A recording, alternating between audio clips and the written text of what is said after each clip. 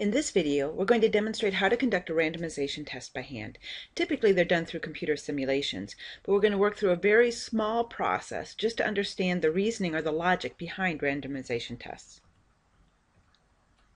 We're going to do this through a specific example.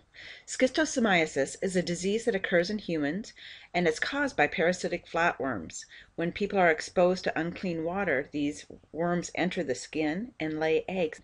It affects about 200 million people worldwide and is a serious problem in sub-Saharan Africa, South America, China, and Southeast Asia. This disease can cause death, but more commonly results in just debilitating systems arising primarily from these eggs being lodged in the liver, spleen, and intestines. Currently, there is one drug, praziquantel, that is commonly used for treatment of schistosomiasis. It's inexpensive and effective. However, many organizations are concerned about relying on a single drug to treat a serious disease that affects so many people worldwide.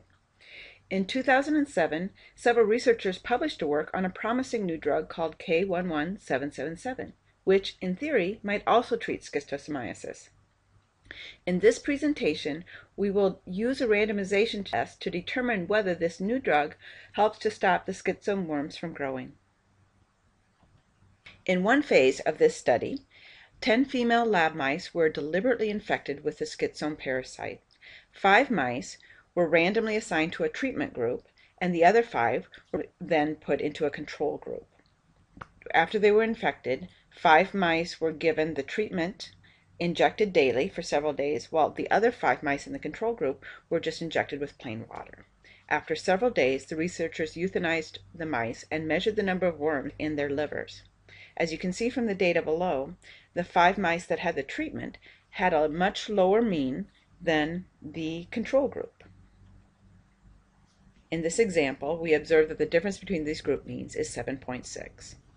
The number of parasitic worms found in the liver naturally varies from mouse to mouse. So it could just be possible that this difference of 7.6 is due to random chance. Could, just by chance, a larger number of worms randomly been placed into the control group?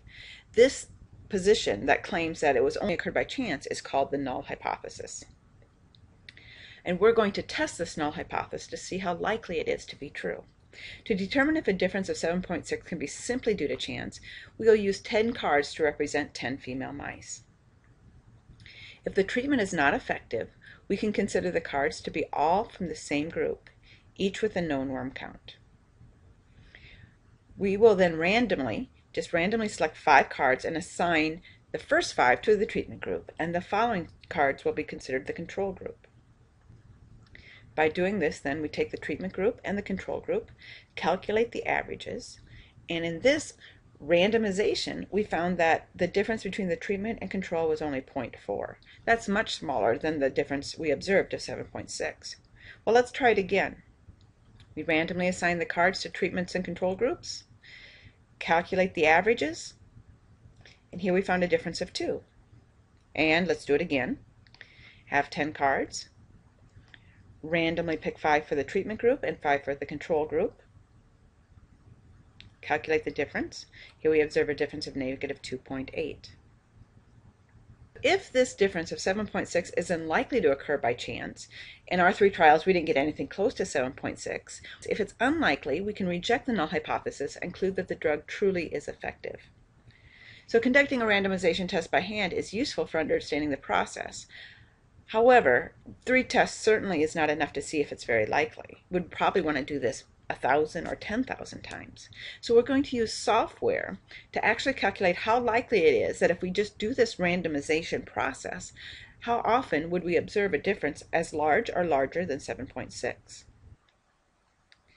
When I used a computer to simulate this randomization process, we did it by hand three times, but with a computer, I did it 10,000 times and in those 10,000 iterations, only 281 times did we observe a difference of 7.6 or more. In other words, there's less than a 3% chance of observing a difference this large.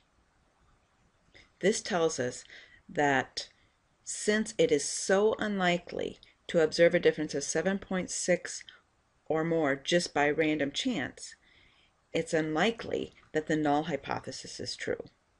Thus, we make the conclusion that the null hypothesis is not correct in favor of the alternative hypothesis. We conclude that the treatment made a difference in the number of worms that we observed in the livers of these female mice. In the next session, we will discuss how to use a computer to calculate this probability when we want to do it many, many times, not just two or three times by hand.